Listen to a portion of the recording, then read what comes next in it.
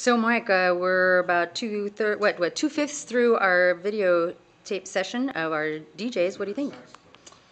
I can't take it. It's just is killing me. It's the worst thing that's ever happened. No, everything's going fabulous. We're having a great time. I think everyone's doing a fabulous job. Really excited about our new DJ videos. I wish we had done this two years ago before this recession, but we're very excited to have the new product. And I think the guys are doing a great job. So who's videotaping for the guys? John, the famous John McMahon.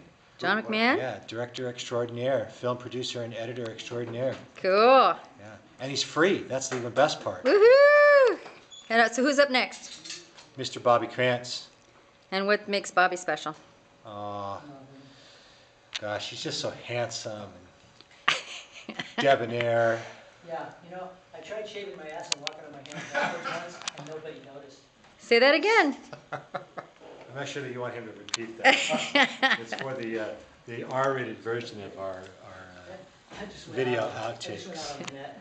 And so where are we, Mike? we are at the beautiful Marriott Newport Beach in the fabulous Salon E. Cool. And you fed everybody pizza, I hear. Mm, yummy pizza, Yeah. pepperoni pizza. All right, and we've got uh, a whole DJ set up here for the video. Very cool.